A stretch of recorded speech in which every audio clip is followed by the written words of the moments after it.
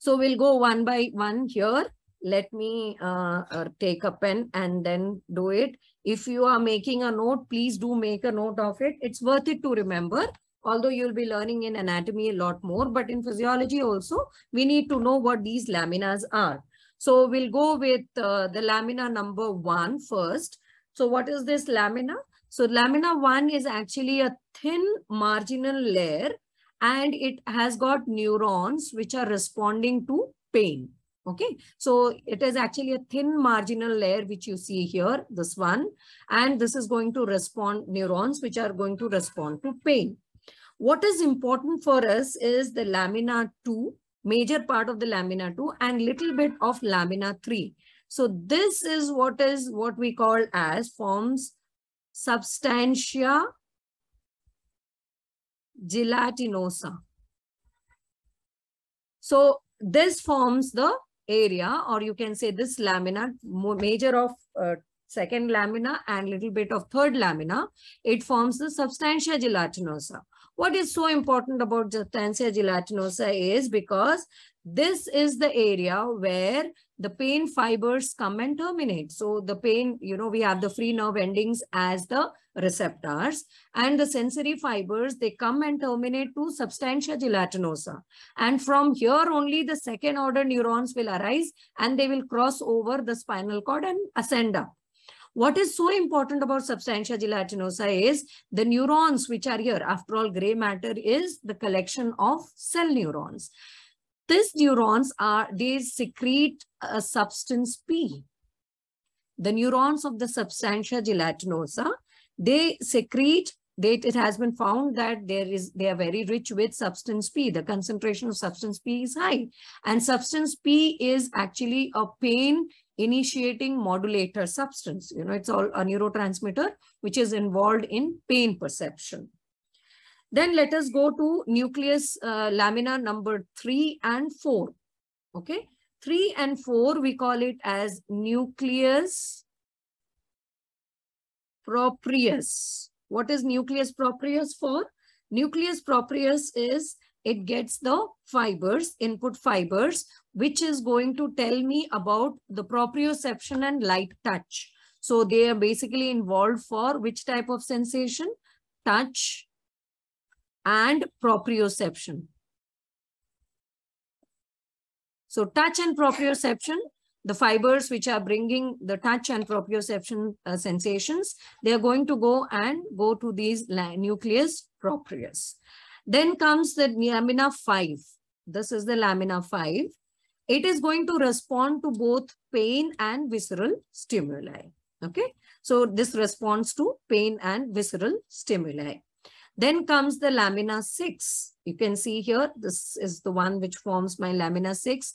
This is the deepest layer in the dorsal horn and it contains the neurons which respond to mechanical stimulus. So it is going to respond to mechanical signals, the one which are coming from my mechanoreceptors, they are going to come here and then they're going to ascend up. So they come to this lamina, lamina 6. Okay. So we have the mechanical signals coming from the skin to the lamina 6. Now come the lamina 7. See, a larger part of it, a quite good amount of, you know, large zone we can say. So it contains what is important is the dorsal nucleus or the Clarke's column. See here, the dorsal nucleus, this, this, this is present here, the dorsal nucleus. Okay, dorsal nucleus or otherwise we call this as Clarke's Clarke's column. So Clarke's column, uh, what does it do? The Clarke's column is the one which is actually involved in what? For, uh, they, they actually form the fibers for posterior spino cerebellar tract. So the fibers which are going from the spinal cord to the cerebellum, they form the spinocerebellar tract. And this Clarke's column they are the one which are going to form my spinocerebellar tract. Okay. Then On the lateral intermedial, you know, look at this nucleus, this in intermediolateral nucleus. The intermediolateral nucleus, which is uh, usually present in the upper lumbar region, gives rise to, they are actually giving rise to preganglionic, preganglionic sympathetic fibers. So we have the autonomic fibers coming from these lateral. So we have it in the thoracic and the lumbar area. We get this lateral horns and near to these lateral horns, we have this nuclei, what we call as the enteromedial nucleus, which is again a part of the lamina 7. Okay, so that forms my preganglionic sympathetic fibers who arise from here. They go to the ventral ram uh, root. From the ventral root, they take up the white ramus and from the right white ramus, they go to the sympathetic ganglion. Okay. Then comes the lamina number 8, 8 and 9. So 8 and 9 are usually the motor neurons. They are actually the, they contain the motor group of neurons which are present in the ventral horns. And then we have the area lamina number 8 which is close to the central canal. Okay, which is close to the central canal. So to repeat once again, I think the major points which we should remember, and it is worth it to remember, that is lamina 1, it is for what? It is, it has got the thin margin which has got for the pain fibers. What is important for us to remember is substantia gelatinosa, lamina 2 and little bit of lamina 3. This forms the substantia gelatinosa. This is the part from where the afferent neurons will come. They'll give their second order neurons and these second order neurons is going to cross over and ascend up. Substantia gelatinosa neurons, they secrete or you can say the concentration of substance P has been found to be in a higher concentration here in this area. So substance P again is going to be the neurotransmitter which is going to modulate the pain. You know, it's going to have the pain sensation, going to transmit the pain sensations. Then comes the lamina number three and four. We should remember the nucleus proprius. What is this nucleus P? proprius, proprioception. We should remember like this. Nucleus proprius is nucleus proprioception. So remember like that.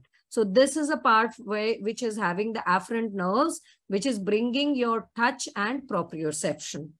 Then comes the lamina 5, 5 which is going to respond to pain, pain and the viscera. So it is going to respond to the pain and the visceral pain, or you can say the visceral stimuli. Then comes the lamina 6. Lamina 6, it is going to respond to mechanical stimulus, which is coming from the skin area, okay, from the joints, from the skin, that is what is going to respond. Then we have to remember the dorsal nucleus, a large area of it, you know, and it forms the Clarke's column. Clarke's column is the one main contributor for the spinocerebellar tract. Remember in that way, posterior spinocerebellar tract, they're going to arise from here. Then comes the lamina, uh, the seventh, the inter, uh, intermediolateral. So as I told you, the lateral horn cells, they're going to give rise to the preganglionic sympathetic fibers who are going to give rise to the preganglionic sympathetic fibers. They are going to go through the ventral ramus. Then they are going to go to the white rami and they'll go to the sympathetic ganglion. Okay. Then uh, that forms that. Okay, the ninth one we can see here. The ninth is forming my ventral horn, which is basically for the motor neurons. So we have the motor fibers for the flexors and we have motor fibers for the extensors. And these all are present in the lamina 9. And the lamina 10 is the one which is present around the central canal.